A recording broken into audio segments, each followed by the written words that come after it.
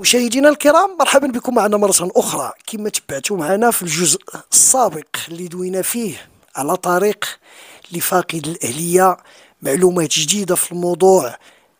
عنده موهبة في الرسم في الخط ولكن أسباب والمسببات لتنوير الرأي العام أكثر. في حقبة زمنية في الصغر ديالو في الإعدادي بالضبط تناول مادة مخدرة حسب التصريح ديال والديه اللي غيرت ليه الدنيا لما هو أسوأ. طارق قنبلة موقوتة إشكاليات في التطبيب. رجال الدارك مشكورين كيديروا اللي عليهم وكذلك السلطة المحلية في شخص السيد القائد والأعوان. وفي الأخير ملي كيوصلوا للقرار النهائي اللي هو التطبيب طبيبة علامة استفهام. كتقول لهم راه صحيح خرج ريب الدار. مشاهدينا الكرام هذا طارق. الأخ ديالو نفس الوضع إنما بعض الأمور توحي أنه الوضع الصحي ديالو شيئا ما على ما يرام. غادي نشوفوا الأمور مع الأب. صلاح الدين الوالد ماشي بحال طارق. قلتي لي من الدويات شوية. لا لا لا. لا صلاح الدين كان لازم ذاك الشيء. ولكن الحمد لله الله تعالى شفاه خرج الزنقة داع داعينا ثلاث شهور. طوليت نقلب عليه ما خليت عليه بن سليمان ما خليت عليه مديونة ما خليت فين قلبت عليه. تا جاب الله وريت واحد الصورة لواحد المراه كدير كاسكروطات في الزنقة مديونة. وهي تقول لي هذا كيهدف عندي هنايا؟ قلت الله يجزيك بخير لا جاب الله هدف عندك. هنا قول لي راه الوالد ديالك جا يسول فيك جي للدار. لقيت لك عمل شي براد ديالتي هنايا كان مدي ديك الجغمة ديالتي لفمي كيبان لي الدموع ديال مو مهودين كنحط الكاس ونوض بحالتي كيحرر ليا كلشي. قلت أنا ما نبرك حتى نجيبو. حيت أنا اللي خرجتو. أنا هو السبب باش خرج. قال مول الكوكوت هنا. في رمضان وضربته بزرواطه من هذيك هي ديك الخرجة مشى في حالته. ولكن كان مريض هو. كان مريض. كان المراه كان بيشير بالكوكوت باقيه الصفاره كدورك ضربته تحت ركابي بواحد الزرواطه وهي هذيك هز راسو زاد في حالته. من تمني جا وفين كان في هذيك الوقيتة؟ هذيك المدة فين بغى يعيش؟ فين؟ هذا ما قلتش لي بحالو هذا. هذا مول هذا الجريم دابا. ما قلتش عليه هو. في رمضان دري كان رصحة بخير هزينا لك كنت فوق البوطة كدور السفارة على الحمص باقي ما كان حتى شي حاجة. حط عدا في هاد البلاصة هنايا. كتكيف واحد الكارو. قالت لي مو حط حط الكوكوت قال لي سير البروشة. قال لي عمرك خمس سنين. قال لي جيت تمثلي عليا سير لا لا لا. هو يضربها. أنا ما كنتش من حتى حاجة. هي تقول لي آه الحسن. واش بندير لك انايا وهي تمت غادي غادي حلت الباب على الجيران عتقوني الجيران. قلت لها زقيت تعالي تعالي جي جي جي دخلي دخلي وندخلها ما دات ما جابت. كاين واحد المانكو ديال فاس. هنا في هاد البلاصة تحت هنا. جبدتو. درتو على الفوقية بحال هكا قربت لي وأنا نعطي لها الوايص ضربه وحده ضربتو. ولبست الحوايج ديالي. معقول على الدار كيدوني والله كان الله تعالى ستفو حفظني الله حفظ الله تعالى استرنا الله بجوج. هي هذيك. ود المغرب مشيت للجامع قلت أنا نجي غادي نلقى السيد بقى هو هو صافي رانا معول الليلة يدوني جدرميه جيت لقيتو واقف ولكن ما كيتحركش. عا واقف. شوية كيمشي مشيت النمله كيدير بحال هكا بحال كيمثل كيمشي. باقي مشكل. عقل شوية. بدا كيمشي ويجي. خرج. ولكن واحد الوقيتة ما تلاش يواجهني انايا ولا كيمشي للجامع كيحيح على الحياة في الجامع. الحياة غدارين واحد الحياة ضربني مو بزرباطه والله لا خليتها فيه. واخ أنا باش نقرب معاك إذا سمحتي لي الوالد نقرب معاك الصورة. الأمور كلها عارفه ديال المرض ديالو. قلتي لي قبل من رمضان كان مزيان. هاد مزيان كي دايرة؟ واش سنين وهو مزيان 100% ولا كل مرة تيخرج بأنه تيثبت بأنه السيد ما تيعقلش اش كيدير؟ باش الناس تفهم؟ هذا هذا منين جبناه من مولاي رشيد؟ لهنا. الحمد لله. تقاد. مع البرا ومع الدواء وداك الشيء. دابا الحمد لله راه ما كانش يتسخر لك ما كان يجي دابا راه يتسخر لك يجيب لك البوطة يجيب لك عطيتيه يجيب لك السخره ويرد لك الصرف. كان ما السؤال الثاني اللي عندي معاك دابا هاد المدة كلها اللي كتقول لي هو مزيان. شحال هادي ما عمرو دار شي حاجة خايبة. باش تاكدتي انت بلا مزيان. ولا, ولا في أي لحظة يقدر ما ياكلش الدواء يدير شي حاجة أخرى. من جينا من مولاي رشيد ومتبع مود هذا الحمد لله. آه الحمد لله هذه الساعة.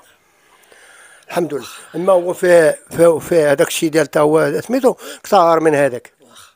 شكرا لك. كاينة شي إضافة عندك؟ على أخوك صلاح الدين قلتي لي قلتي الوالد من فاش ولا مقاد تقريبا ملي قال لك من جنا محي مولا رشيد راه دابا جاية شي خمس شهور غادا في خمس شهور صحيحه عباش ولا صالح بحال ما هكا من قبل من خمس شهور من لا آه، ما كانش صالح كان غفال الخمس شهور ما عمرو خرج لكم شي مشكل ولا كيخرج للزنقه ويدير شي مشكل لا ما نكذبش بخير تقريبا دابا شي خمس شهور قبل من خمس شهور راه كانت الغفاله كيما كيس القديم وكحل ومسخ والودن مسخه وعلى اللي شافو يبكي ولكن من الخمس شهور بداتو جابوا لي عطاو البرا وتبعت لي البرا ورا دفعت لي البرا وشدوه وعطاو البرا وعطاو واحد الدواء داك الشيء ولا كيبكى ولا صلاح.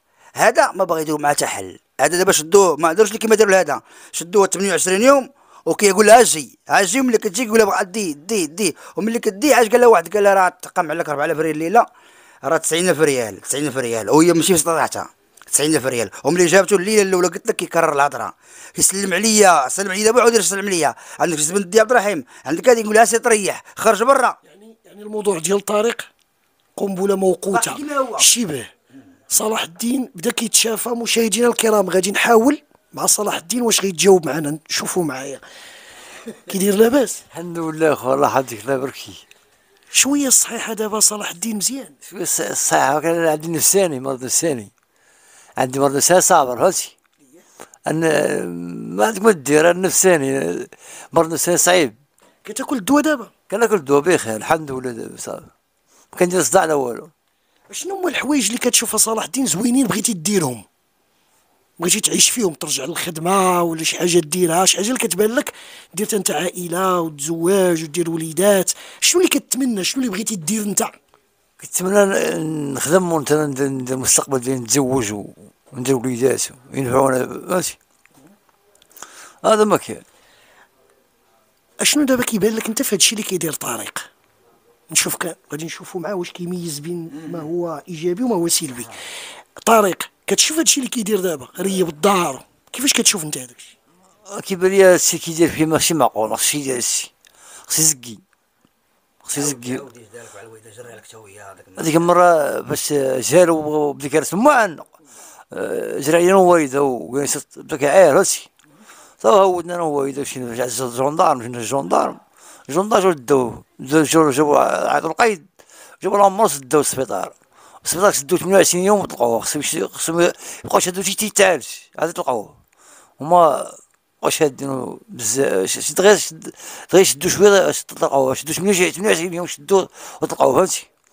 كيفاش كيبان لك انت داكشي اللي كنتي كدير؟ شحال هادي خايب؟ عاقل على شي حاجة خايبة كنتي كديرها. طلعت البوطو بست كاملي. هي درت الخيبه صعب دابا كيبان لك داكشي خايب. آه.